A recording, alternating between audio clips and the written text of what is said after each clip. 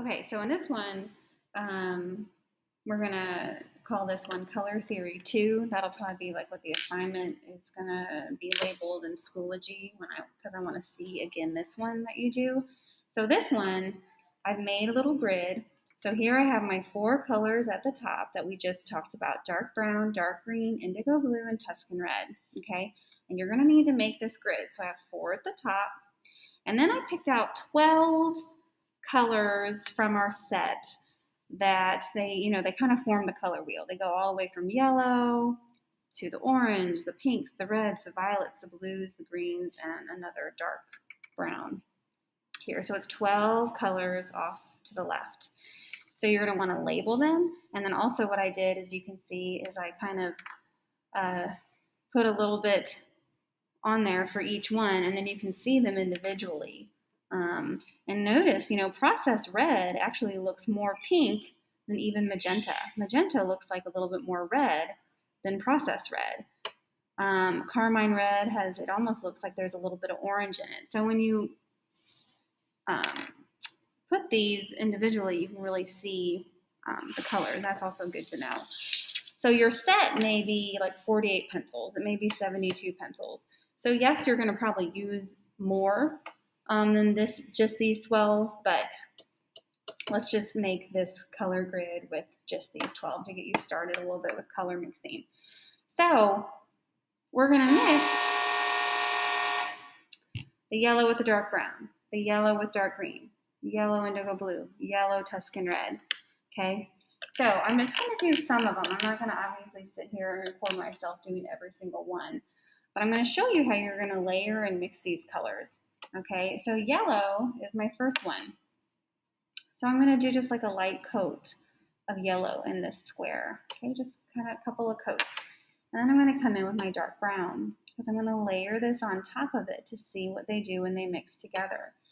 And then I'm going to add yellow one back on top of it.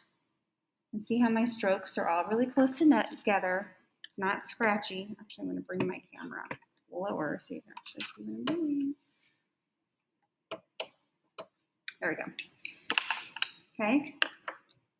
So now I'm going to do yellow with dark green. I'm going to move this way. So again, I'm still with my yellow. It's not scratchy. It's not messy. Mix it with my dark green and see what happens. And we're doing this because when we actually get to like doing our veggies and our fruit and our little still life you know, you're going to have these little color grids to look back on. You're like, well, I need a certain color. How did I get that earlier when I was practicing all this? And this, by doing this base work or groundwork, then it helps later on because then it kind of cuts out, again, trying to figure out how to mix some of these. So it's kind of nice to have these to look back on. And then as you're doing this, you're getting comfortable with the colored pencils and how to use them and how to work with them and how they mix. Okay, obviously my indigo blue and my yellow are going to make a green color. It's kind of similar to what I just made there on the left with the dark green, but not entirely. So see how I'm layering back and forth with two colors. So now I'm going to do my yellow, my Tuscan red and see what happens.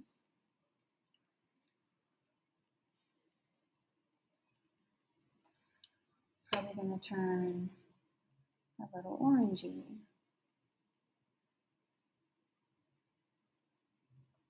Okay, so then I'm done with that. So now I'm going to go to orange and do the same thing. Orange.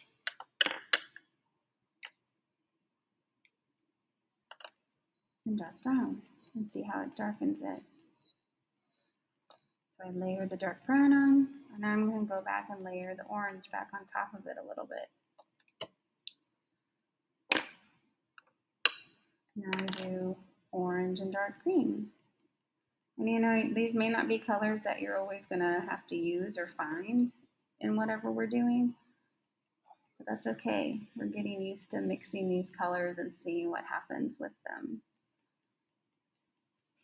It's kind of a weird brownish color. Let's do orange and indigo blue. Orange and blue are complementary colors, so they're probably going to make brownish color. That's what happens when you mix your complementaries. It may not be the most pleasing color, but it may be something that you need in the future. And then we'll do orange and Tuscan red. So you're going to do these for all 12 colors. I'm going to go ahead and do all of it so that I'll show you a completed one here, but I'm not going to record myself because that's just kind of silly, but I'll come back in a minute when I'm all done. All 12.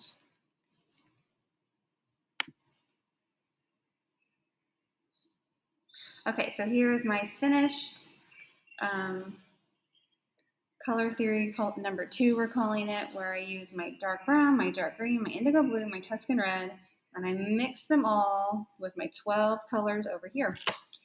And that is that.